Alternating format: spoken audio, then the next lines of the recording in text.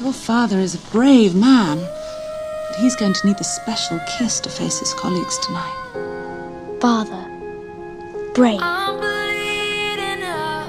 are many different kinds of bravery. Tomorrow, you begin your instruction without Millicent.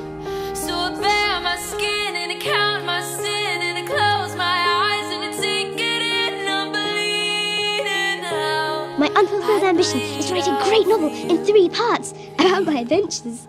What adventures?